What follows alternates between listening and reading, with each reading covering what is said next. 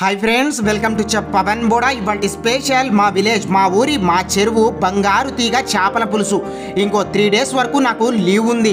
అందుకని కొన్ని కొన్ని మా ఊరి నుండి వీడియోస్ చేశాను చేస్తాను. ఇంకో ముఖ్యమైన విషయం ఏంటంటే మా విలేజ్ వాళ్ళు నాకు దగ్గరలో ఉన్న ప్రజలు కూడా డైలీ మీ వీడియోస్ యూట్యూబ్లో చూస్తున్నాం. కానీ సిటీకి వచ్చి మీ రెస్టారెంట్లో మీరు ప్రిపేర్ చేసిన బిర్యానీస్ వంటలు మేము తినలేము అన్నారు. అందుకని నేనే స్వయంగా నేనే మా ఊరి ప్రజల కోసం కొన్ని వంటలు ప్రిపేర్ చేసి అందరికీ పెడతాను ఇవ్వాలా?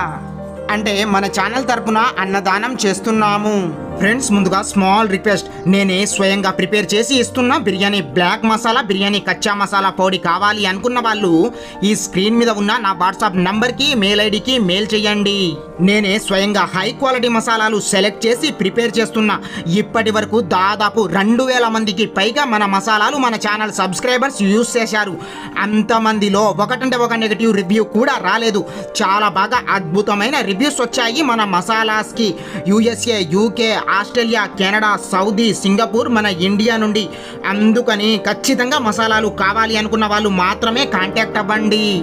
ముందుగా స్టవ్ ఆన్ చేసి ఒక కడాయిలో ఆయిల్ తీసుకోవాలి. ఈ ఆయిల్ లైట్గా హీట్ అయ్యాక పొడువుగా చిరేసుకున్నటువంటి ఓ హండ్రెడ్ గ్రామ్స్ వరకు గ్రీన్ చిల్లీస్ యాడ్ చేసి ఓసారి కలిపి ఫ్రై చేసుకున్నాక ఓ ఫైవ్ హండ్రెడ్ గ్రామ్స్ వరకు చాప్డ్ ఆనియన్స్ని చల్లేసుకొని ఓసారి కలిపి మూత పెట్టేసి ఈ ఆనియన్స్ ఆయిల్లో బాగా మగ్గి బ్రౌన్ కలర్లో రావాలి. అప్పటి వరకు ఫ్రై చేయాలి స్టవ్లో ఫ్లేమ్లోనే పెట్టి ఆనియన్స్ ఈ ఆయిల్లో బాగా మగ్గి లైట్ బ్రౌన్ కలర్ రాగానే ఓ యాభై గ్రాముల వరకు home made ginger garlic paste వేసుకొని స్టవ్లో ఫ్లేమ్లోనే పెట్టి ఓ రెండు మూడు నిమిషాల పాటు కలుపుతూ ఫ్రై చేసి మీ టేస్ట్కి తగినంత సాల్ట్ని ఒకటికి రెండు సార్లు చెక్ చేసుకొని యాడ్ చేయవచ్చు చివర్లో కాబట్టి ముందుగా ఓ స్పూన్ వరకు వేసుకొని ఓ నిమిషం పాటు కలిపి ఓ టీ స్పూన్ టర్మరిక్ పౌడర్ని యాడ్ చేసి ఓసారి కలిపి తగినంత కారం యాడ్ చేసి స్టవ్లో ఫ్లేమ్లోనే పెట్టి ఓ రెండు మూడు నిమిషాల పాటు కలుపుతూ ఫ్రై చేసుకొని ఒక కప్లా టమాటో ముక్కల్ని యాడ్ చేసి ఓ నిమిషం పాటు కలిపి మూత పెట్టేసి ఓ ఐదు నిమిషాల పాటు కుక్ చేయండి.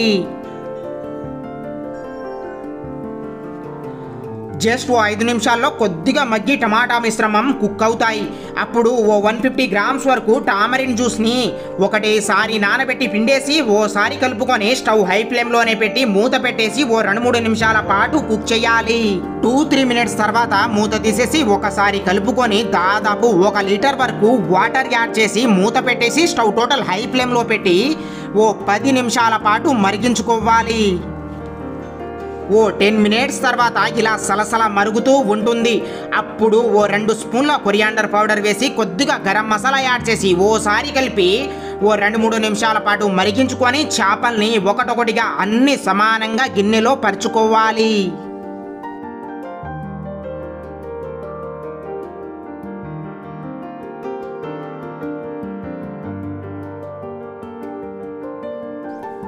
ఆల్మోస్ట్ ఫిష్ పీసెస్ మొత్తం గిన్నెలో వేశాక మూత పెట్టేసి మళ్ళీ స్టవ్ హై ఫ్లేమ్లోనే పెట్టి ఓ పది నిమిషాల పాటు మరిగించుకొని మూత తీసేసి ఓసారి నెమ్మదిగా చేప ముక్కల్ని కలుపుకొని ఓ రెండు స్పూన్ల వరకు ఫిష్ మసాలా పౌడర్ని యాడ్ చేసి ఓ నిమిషం పాటు కుక్ చేసి చివర్లో కొద్దిగా కొత్తిమీర ఆకులను యాడ్ చేసి ఓ ఫైవ్ మినిట్స్ పాటు స్టవ్లో ఫ్లేమ్లోనే పెట్టి కుక్ చేసుకొని మీకు కావాల్సిన ఈ పులుసు కన్సిస్టెన్సీని సాల్ట్ని కూడా ఒకసారి చెక్ చేసుకొని సర్వ్ చేసుకోండి. By the way friends small request ఎవరికైనా బిర్యానీ కచ్చా మసాలా బిర్యానీ బ్లాక్ మసాలా కావాలంటే నన్ను కాంటాక్ట్ అవ్వండి. మన ఛానల్ని సబ్స్క్రైబ్ చేసుకొని పక్కనే ఉన్న బెల్ ఐకాన్ని ఆల్ అని యాక్టివ్ చేయండి. ఫ్రెండ్స్ చాలామంది ఈ బెల్ ఐకాన్ని ఆల్ అని యాక్టివ్ చేయడం మర్చిపోయారు. అందువలనే నేను వీడియోస్ అప్లోడ్ చేసిన వెంటనే మీకు నోటిఫికేషన్ రావడం లేదు.